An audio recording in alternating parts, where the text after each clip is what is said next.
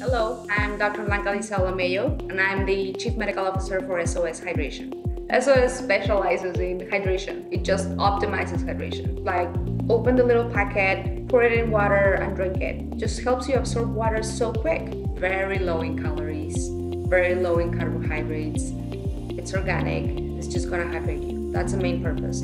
I've been a doctor for 11 years now and an athlete pretty much all my life. What I wanted to achieve with SOS is to give you back what you're really losing throughout the day, right? When you're sweating, when you are like just working out, when you are like at work. We are literally using the body's mechanism to absorb water and we're just like improving it.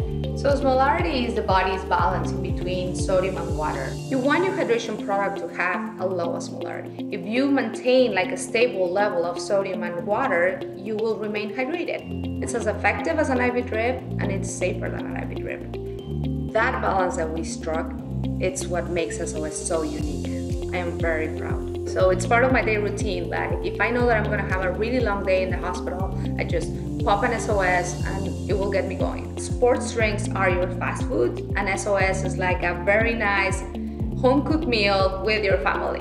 Hydration means performance. SOS really gonna help you to feel energized, perform at your peak, just feel good.